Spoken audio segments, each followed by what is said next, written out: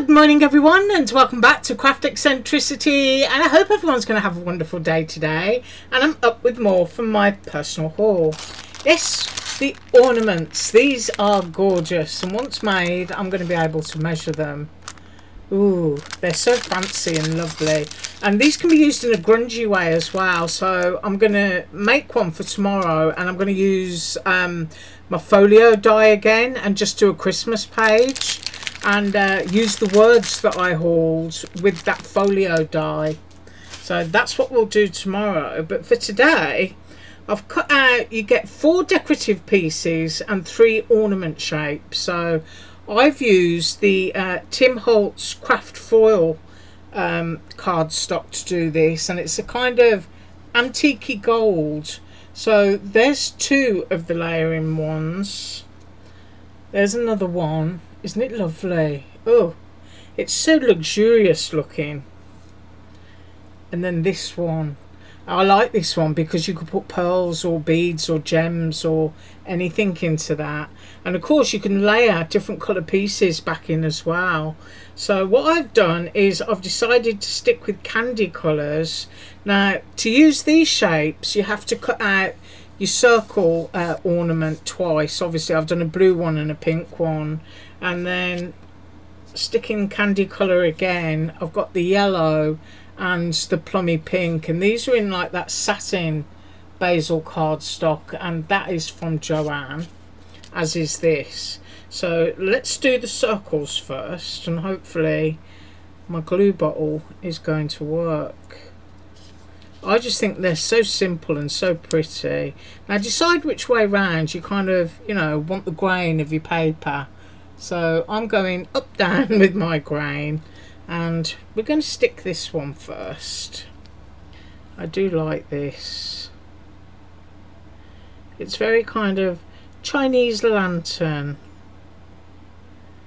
I'm trying to be careful with my glue.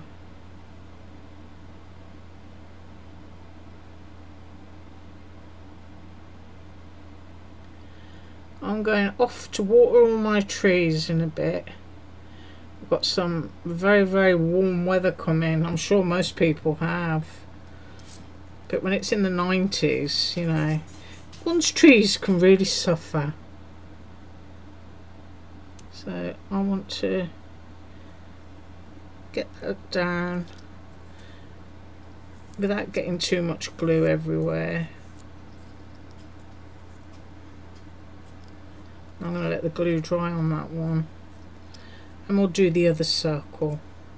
Isn't turquoise and gold wonderful? I think that's so pretty. And this one which reminds me of kind of fishing net.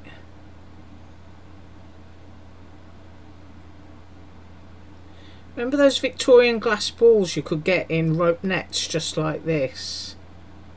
That's what this reminds me of so if anybody kind of remembers those glass floats, you know, this would probably be a nice one to do with some alcohol ink on acetate and uh, do an ornament like that.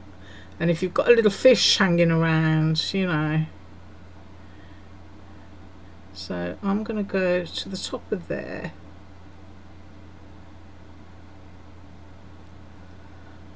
And then I'm going to pick this up, I hope get my fingers under it. One of these days I'll grow my nails back, but not yet. And then just pop that on. Now I have seen the image of these and they are kind of overlapped on the circle, which of course they would be. Because you've got to think about it going around the corner, if you know what I mean. So there's two. Aren't they sweet? Oh, I absolutely love those. You could use one on a card or you could put them on a box, you know, and have uh, one on each side of a, a really fancy Christmas box. Maybe you could emboss the side panels or something and then pop these on. Really nice.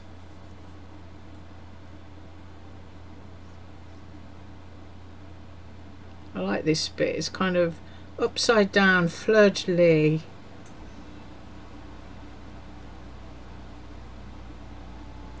I'm quite looking forward to using my folio die tomorrow. Because it's it's one of those things really that's you know it's meant to stay on your desk and uh, be used all the time.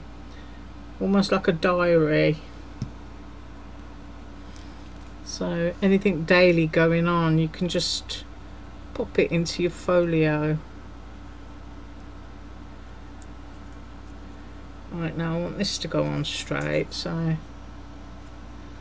need to shift that over to there. And pop that down. Make sure my glue is sticking. But isn't that lovely? Oh I do like that. And looking at these they look mirror image to me which means that you could cut another pink one put it on the back because you know what our die cut machines are like look at that.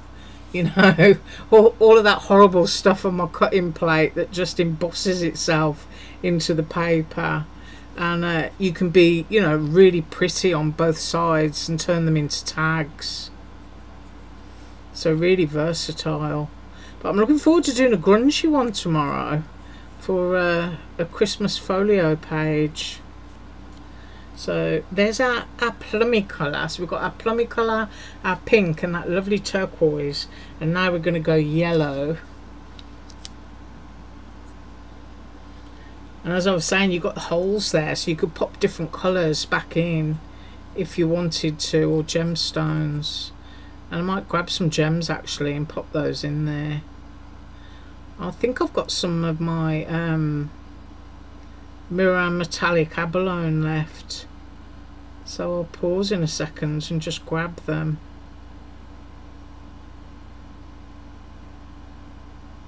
Just going off down that little bit.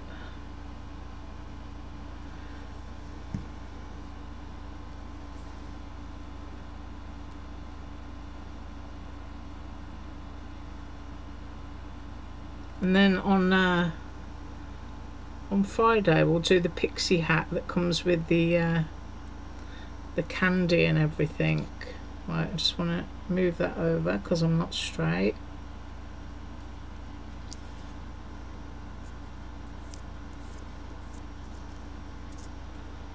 I'm going to let that dry. I'm just going to grab my gemstones because I definitely, you know, feel that you could put something in there.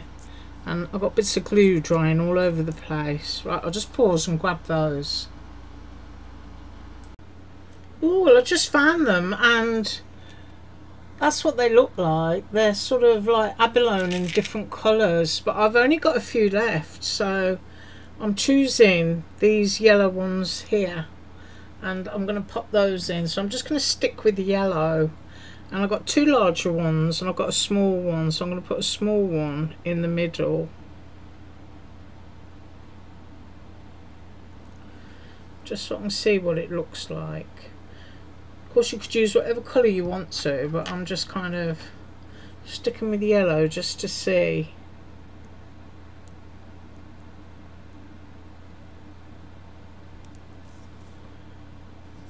I'm going to need more glue on that I think.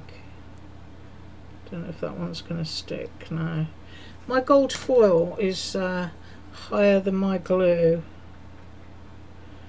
So I've got to be a lot more generous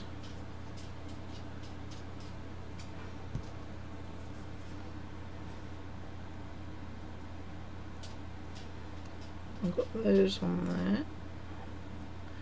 I don't actually know if these are straight or not because I can't see. But let's have a look. Right, I'm just going to let that dry for a second so that I'm able to pick it up in a minute. Right, so that one's not fully dry, but I'm going to pick it up anyway. But let's have a look. Aren't they great? Now you could use pattern paper if you wanted to. But that little bit of foil is just a really nice touch of luxury. I love that. And that one just looks really special, doesn't it? It's kind of a little bit Rococo. Rococo Fabergé, yeah. It's like having a handful of candy coloured gems and then that one with the abalone even though the glue is still wet. Right that is what I've got for you today and I've told you what we're coming up with tomorrow so I do hope you have an absolutely awesome day and I'm off to water my trees. As usual all links below. Bye